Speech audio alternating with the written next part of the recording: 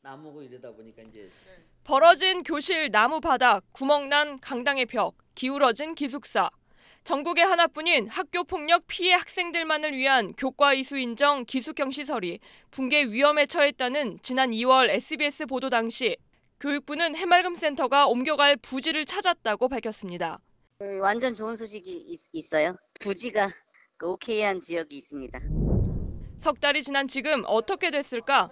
사용 가능한 시설이 대폭 줄면서 30여 명이던 정원이 7명으로 줄었습니다. 이전할 부지는 정하지도 못했습니다. 그동안 교육부는 이전 후보지로 폐교 3곳을 센터 측에 제안했습니다. 그 가운데 한 곳인 충남 서산의 폐교에 찾아가 봤습니다. 1964년 지어져 1999년 문을 닫은 뒤 계속 방치된 탓에 잡초와 수풀이 학교를 둘러싸고 있습니다. 버스가 오긴 와요? 아마 두 시간에 하나 올까 막 나머지도 현재 사용 중인 폐교 건물보다 더 오래됐거나 접근이 어려운 곳입니다.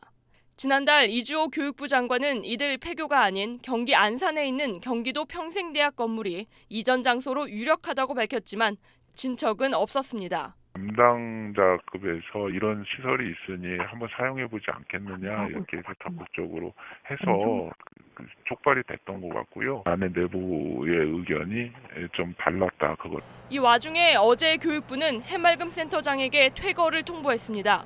정밀 안전진단 결과가 나왔는데 학생들이 수업을 받는 교사동이 최하위 2등급이라는 겁니다.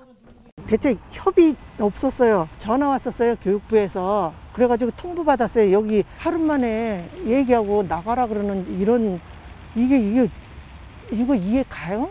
교육부는 퇴거하는 학생들에게 가정형 위센터와 위스쿨 등으로 옮길 것을 제안했습니다. 시도교육청이 운영하는 위기 청소년 상담 교육기관인데 피해, 가해 학생들이 모두 올 수 있습니다. 아니 막무가내로 나가면 어떡하라는 거예요? 땅바닥이 벌어지는 것밖에 안 되잖아요. 정말 아무렇지 않게 내일이나 먼저 나가라. 이거는 그냥 저희를 가해자들 속에 다시 던져놓거나 그냥 버려두는 거 아닌가. 이런. 학생들의 우려를 전하자 교육부 관계자는 이렇게 말합니다.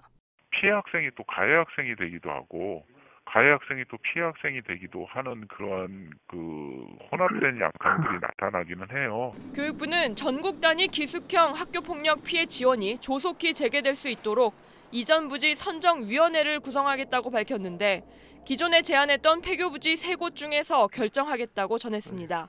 SBS 김혜민입니다.